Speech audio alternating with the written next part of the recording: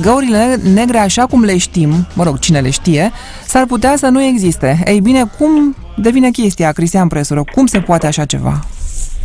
Bună, Corina!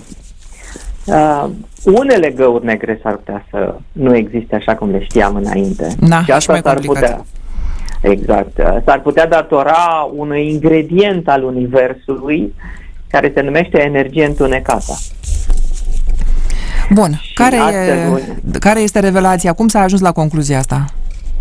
Concluzia asta este o idee a unui fizician rus de prin anii 60, pe fizician îl chema Erat Gliner, uh, și uh, el a propus că, uite, energia asta întunecată ar putea să for- formeze prin univers niște sfere.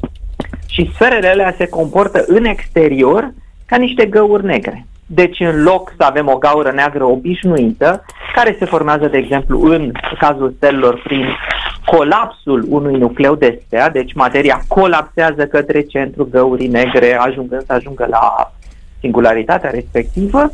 În cazul de față am avea cu totul altceva, am avea energie întunecată, care în interiorul găurii negre ar mări spațiu, pentru că asta este una dintre proprietățile energiei întunecate, are proprietatea asta că dilată spațiu, că spațiu e un fel de elastic, deci în interiorul găurii negre ar fi de fapt energie întunecată, iar pe exterior ar arăta ca o gaură neagră. Uh, da, ce să zic, asta e acum, o să trăim și cu această realitate. Dar uh, e, tu spuneai unele găuri negre. Care găuri negre? Ce se întâmplă? Celelalte sunt uh, așa cum le știm? Repet, cine le da, știe?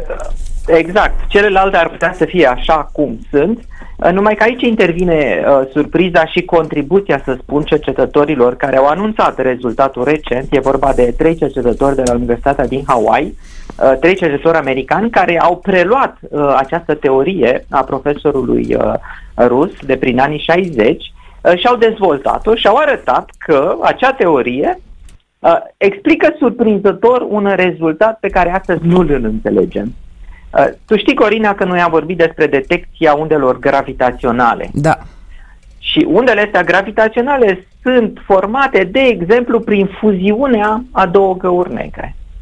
Și în urma fuziunii, fizicienii care au detectat undele gravitaționale au spus, măi, găurile astea negre sunt cam de 8 ori mai mari decât găurile negre stelare.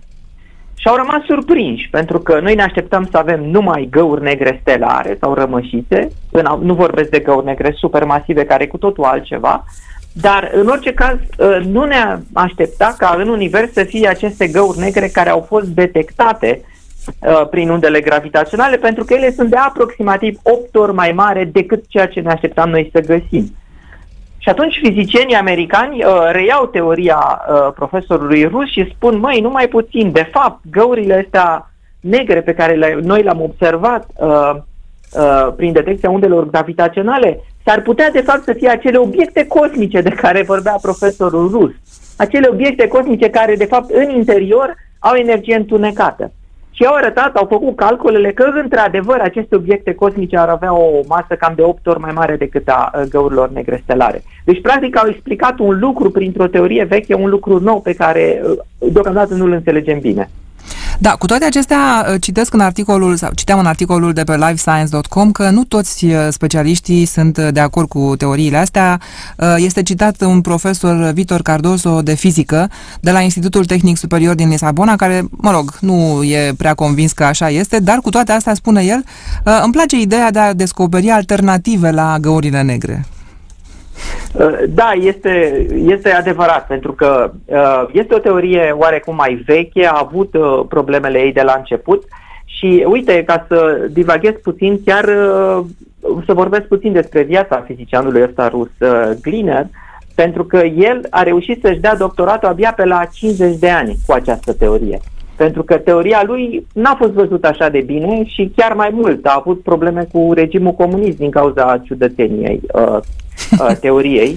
Uh, cu toate că el, atenție, el, atenție, de fapt a fost un erou al primului război mondial. A fost la Leningrad sub, sub asediu, a ajutat orașul, uh, aproape că a murit în asediu de la Leningrad, cu toate astea a supraviețuit, a luptat în uh, primul, în al doilea, pardon, în al doilea război mondial, a apărat Uniunea Sovietică, a venit decorat, rănit, după care a fost închis în gulag timp de 10 ani de zile pentru că, printre altele, citea poezii uh, de pe vremea staristă și uh, a stat în gulag 10 ani de zile și apoi a reușit să ajungă profesor la 40 de ani, să ajungă la universitate, să-și dea doctoratul la 50 de ani, uh, cu o teorie care, de fapt, uh, tot așa, pe vremea respectivă oamenii spuneau, măi, cam ce spui tu aici este mai mult fantezie, dar cu toate, cu toate astea teoria revine astăzi și dacă mă întreb pe mine, Cam așa începe întotdeauna. Când e vorba de o teorie nouă, este oarecum ciudată și oarecum uh, rejectată de comunitate, uh, dar dacă apar din ce în ce mai multe lucruri care se leagă, cum e în cazul acestei teorii,